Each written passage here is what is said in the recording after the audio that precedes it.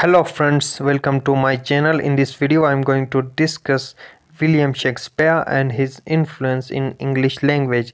As i already make a video on changes in language in 16th century in the renaissance. So in this video we'll see the influence of william shakespeare on language and we'll see grammatical changes shakespeare's standardization of english language and many more so let's get started. So what are there are many contribution in the enhancement of english language by many poets writers of renaissance age and the most prominent figure of this age prominently was william shakespeare. So they contributed in the development of language. So another important name is erasmus as well. So we'll discuss william shakespeare he helped spread the ideas of Renaissance to masses at large level and used real people to inspire him and not themes from the church. And we'll see William Shakespeare contribution. So he played an important role in development of English language. Everyone knows that, admit that. He's a very prominent figure in history of English language as well as in literature and he had the largest vocabulary than any writers of his age and he always remained ready to accept new words.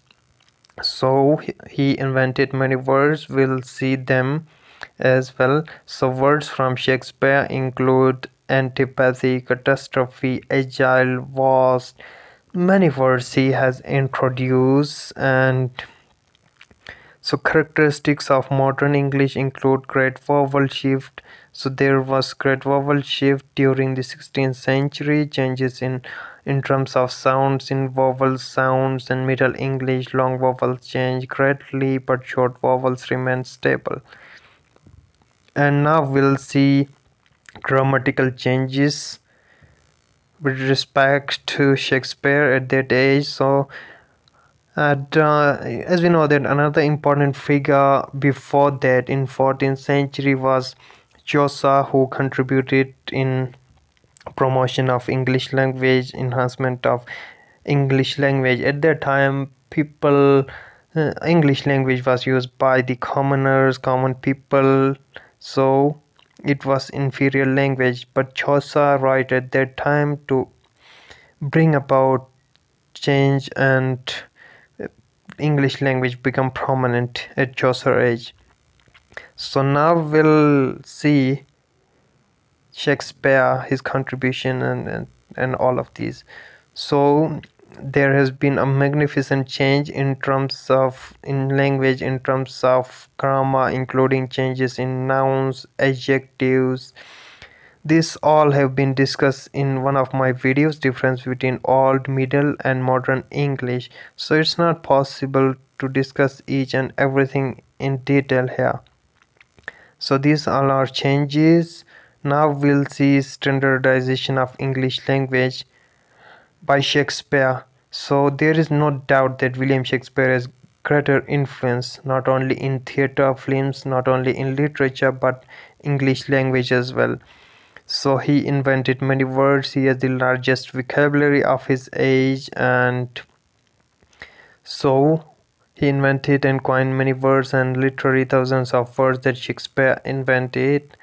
And some of words include manager, fashionable, oible, laughable, gloomy, lonely. And William Shakespeare had knowledge of seven languages and usually made direct cards in other languages directly in plays he wrote.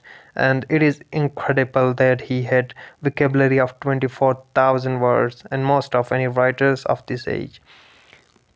Now we'll see standardization of english language. So standardization basically refers to the process of something becoming standard or well known renowned or you can see refined so english language was refined at that time. So writings of shakespeare actually influenced the english language as his work contributed to standardize english language rules grammar in 16th and 18th centuries.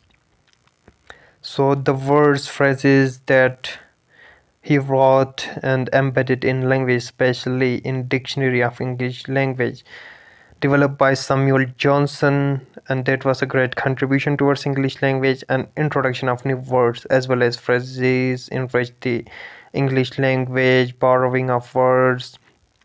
So Shakespeare was the first to use 1700 words created by borrowing from other languages so changes verb into adjectives nouns and vice versa these are all different modes that he can use to invent or make create new words adding suffixes prefixes and he had several phrases that are still very much part of today's language. And some invented words so in explore more of common words that world prominent playwright created. Gloomy here yes important word in today's language by william shakespeare. So he turned this into adjective and then his major works of this age include Titus Andronicus, Merchant of Venice. These are his words where he introduced new words, laughable, majesty, majestic from the word majesty was first used in and then uh, 1570s Shakespeare used the word majestic in the Tempest, one of his play, and in 1400 the word alone was shortened to lone. From this word he created the word lonely, which is still used, and uh, so many words he introduced in uh, of his other works included in Hamlet, words honest, worthy, proper. So these are useful terms and we'll see more of his contribution in his comedies The Taming of Shrew. Shakespeare used the word undress while the rent was first seen in Hamlet and it came from the Dutch term renten that means talking foolishly and here are some more words he used in his writing include eyeball and then absence and then cold-blooded addiction arch villain assassination and then belongings eventful fashionable inaudible and ladybird and many more. Unfortunate table in romeo and juliet. So these are his work he used in his important works. So some more words. Manager mimic scuffle negotiate outbreak. Grovel. So so uh, in a nutshell we can say that william shakespeare has greatest contribution in english language and he influences very influential figure in the history of english language both contribution in literature as well as in, in terms of language. So due to the most prominent writers from previous ages Chaucer, William Shakespeare and all the writers, authors and poets English has flourished. And now see the status of English language is it is one of the international and widely spoken language in today's world and it's very prestigious language today inter an international language spoken worldwide so this all is due to the contribution and influence of writers of previous ages so being a part of this world is our own responsibility to spread english language and it become part of everyday life. And no one denied the fact that it become basic need of each and every individual in today's world. You see each and everything the language of internet the language of science and technology each and everything is in english. So we must promote english through different media.